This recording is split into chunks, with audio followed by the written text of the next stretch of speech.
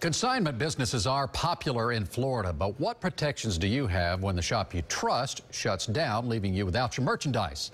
Well, Better Call Behnken has some answers, and Shannon joins us now with some updates on three ongoing investigations into this sort of thing. That's right, Keith. We get a lot of calls about consignment businesses, and when the business model works, it's great for both the buyers and the sellers, but sometimes those on both sides of the deal can get stuck. So tonight, we're concentrating on shops selling boats, RVs, and furniture.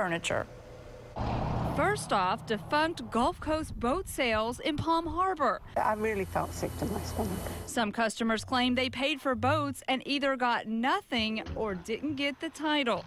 Others say the shop sold their boat for them but didn't give them any of the proceeds. Nine months after my first story, some customers are still stuck. The Pinellas County Sheriff's Office investigation continues. Next up, consignment RV in Largo. After our Better Call Behnken investigation, the Pinellas County Sheriff's Office jumped on this one. My RV was basically stolen. It was a familiar tale. Customers' RVs were sold and they weren't given the money, or they bought an RV and didn't get the title. Well, owner Jeremy Rainey was arrested a year ago and charged with scheming to defraud. His trial is set for March 5th. And finally, off the beaten path in pistachios, antiques, and collectibles. Heartbroken. This shop did both consignment and custom furniture. Lisa Buck called me after she hired the shop to make furniture out of her mother's 100 year old family heirloom piano. Then the place shut down. Everything inside cleared out. Other customers complained about their vanished furniture left at the shop for consignment. I spoke with Buck today, and she tells me she's supposed to pick up the piano tonight. The Tarpon Springs Police Department is looking into this situation.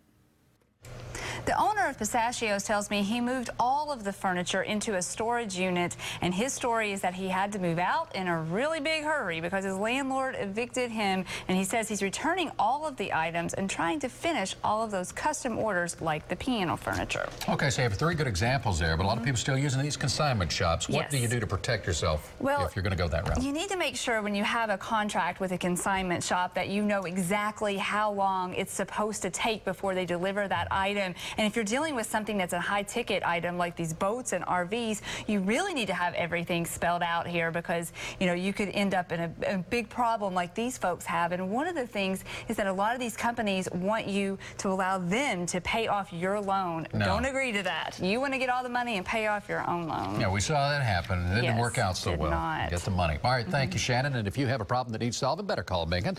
The telephone number on your screen, 1 855 Behnken.